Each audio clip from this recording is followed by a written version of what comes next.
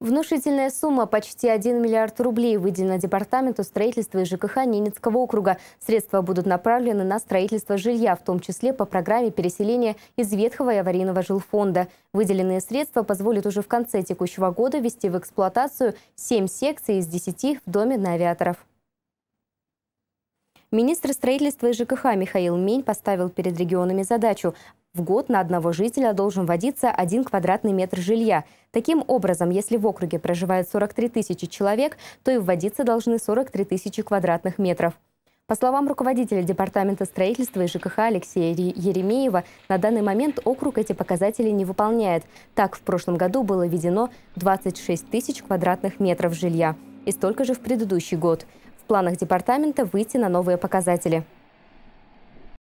амбициозные планы мы для себя строим.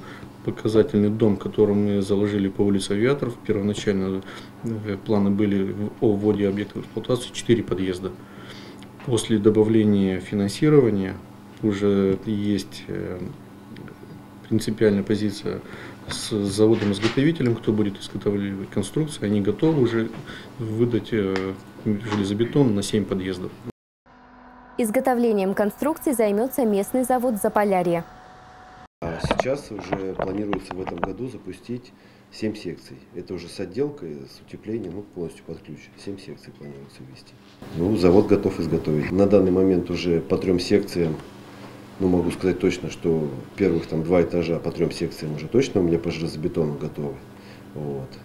Ну, вот сейчас их соберут-то быстрее, чем я изготавливаю, поэтому мне надо было сделать задел вперед, и я немного вперед начал формовать. Вот, плиты перекрытия, колонны, ригеля, балки, все готово, лестничные марши, все это уже лежит на складе. Мы уже даже начали монтаж, уже потихоньку возят на стройку, уже колонны завезли, подколонники монтируют, уже пошел. Сваи-то уже давно забили, которые изготовлены. Сваи изготовлены уже на 7 секций лежат. Сегодня в регионе квартиры покупаются в готовом виде по фиксированной цене за квадратный метр. Принципиальный подход изменился. Это долевое участие в строительстве. Мы приобретаем готовое жилье и заключаем контракты по этапному строительству. Именно тем самым мы с себя снимаем нагрузку по ведению строительного контроля, по ведению авторского надзора, по разработке проектной документации.